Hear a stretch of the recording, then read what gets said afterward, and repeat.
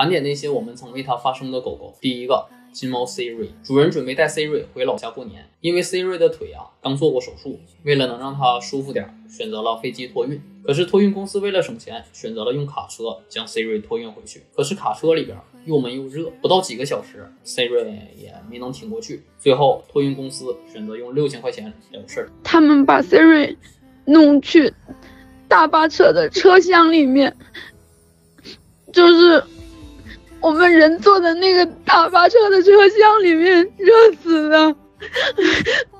我之前觉得可能是宠物专车，它至少没有那么痛苦。我没有想过是大巴车，我真的想不到会是大巴车。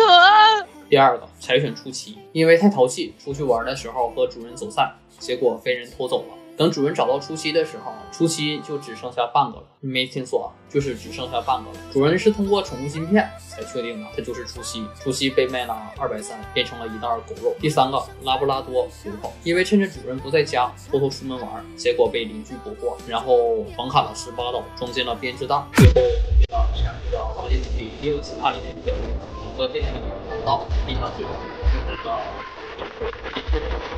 哎你好啊，这边是华总，这边是嗯，这是嗯，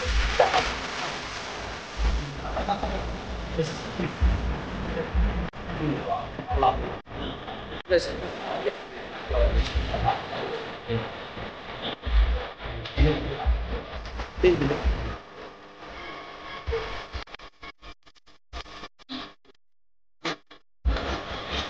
嗯。 ตื่นข